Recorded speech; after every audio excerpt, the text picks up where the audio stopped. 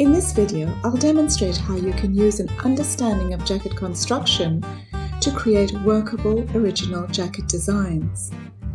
I know how many of you have trouble working out how to draw the full closed shapes that are required when drawing and filling a jacket in Illustrator. It can be so frustrating and all you want to do is copy something on the web.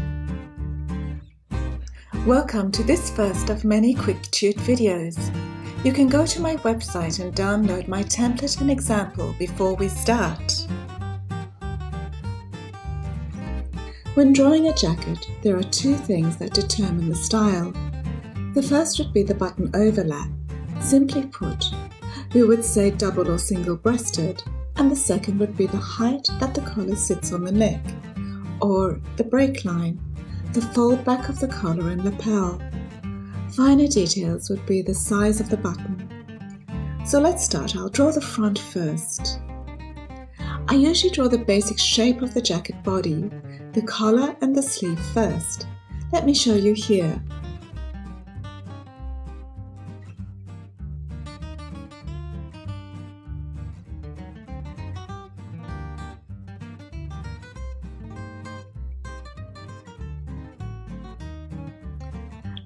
I always say, get the full shape done and then refine lines and silhouette if you need to.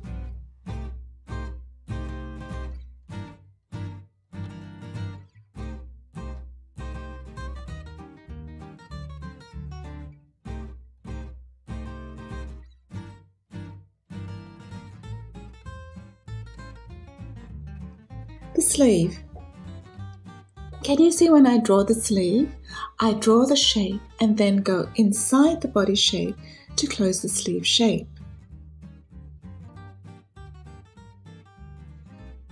Now I copy this line by selecting the middle anchor point, Control or Command C, Control or Command F, and I'll move both over to the left, using my keyboard arrows to move these away.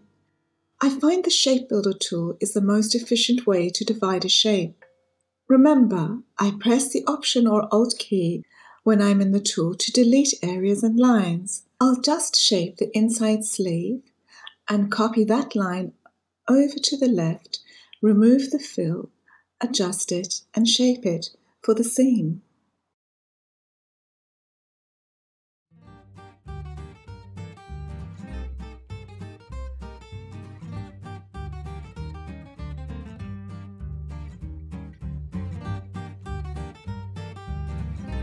With the collar and lapel, I draw the full closed shape and then separate the collar from the lapel.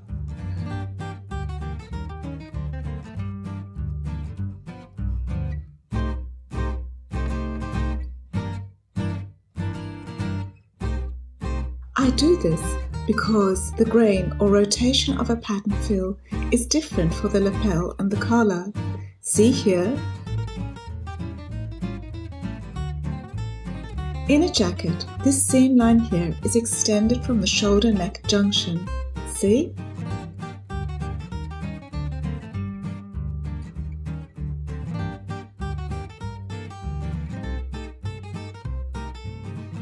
I'll just draw a rectangle for the pocket jet and flap, shape them and move them into position.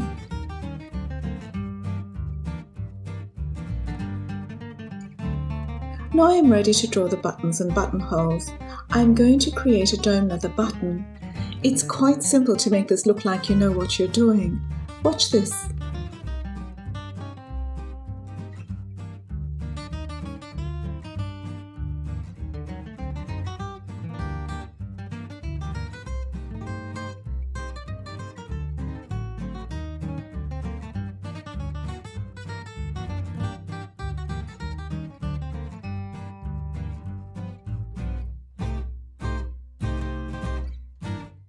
Now for the keyhole buttonhole. I'm just drawing a fish body shape and I'm adding a zigzag effect to this. Once this is done, I make a copy and move this aside, and I'll rotate the button and buttonhole to follow the angle of the front. I'm putting the first and last button in place, and I'm going to use the blend tool to add two buttons in the middle. I select the blend tool, double click on the work surface and choose Specified Steps and 2. I have not grouped the button and buttonhole together as I want mainly buttonholes on the right side of the jacket and mainly buttons on the left side of the jacket. To reflect, I'm using the Reflect tool to copy the other side of the jacket. I select the body and sleeve, place the Reflect reference point on the guideline, and drag across to the right holding the Shift and Alt or Option key at the same time. As you can see, this mirror copies the whole jacket. It is a woman's jacket, so I'll send this to the back for it to button right over left. Here I will organize the buttons and buttonholes. On the right side of the jacket, the buttonhole side, select the buttons. You will notice that the top button and the bottom button are highlighted with a line between them. I need to expand this object to be able to edit or delete some of the buttons. Select the buttons, go to the Object drop-down menu and expand. When the dialog box is activated, deselect fill and stroke and only leave object checked to make the blended object editable. Now you can delete the bottom three buttons and you can put a line profile in the button if you wish. On the left side, you can delete the button holes and the top button, leaving the other three.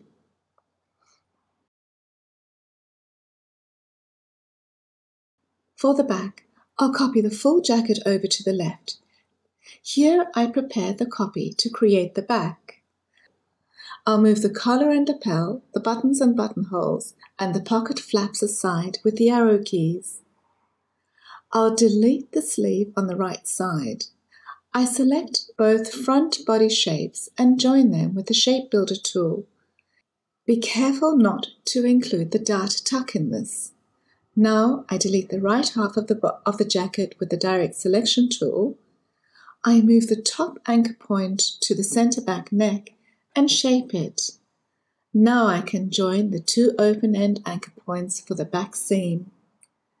For the back sleeve, I'm using this line to divide the sleeve. I need to illustrate the opening where the buttons will sit.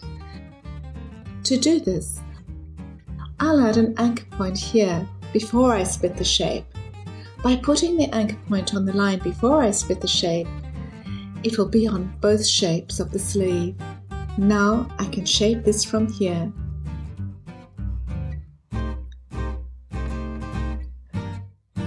I'll tweak the back sleeve shape and add the buttons and buttonholes and group the whole sleeve.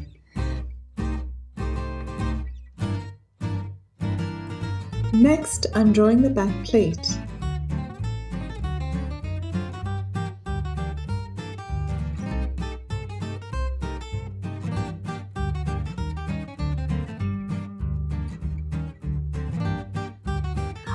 Reflect all these shapes and unite the back pleat shape. Put the pocket flaps back in place and arrange them to the back. I also arrange the sleeves to the back too. Now the collar. Delete everything except the side neck lines and join the top anchor points and the bottom anchor points and move this back into place and shape the collar.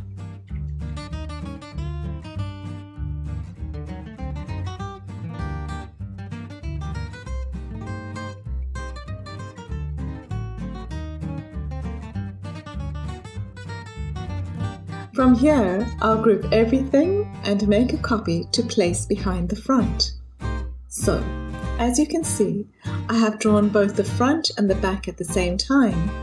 I find this the most efficient method of working. Often illustrators will just do a quick fill in the back and only display the front. Down the track you will need a back, so why not do it immediately to save time later? I hope you enjoyed this quick tute. Please hit subscribe at the bottom of this video. Also, don't forget to subscribe to the Fashion and Footwear Illustrator, as all future quick tutes will be hosted there.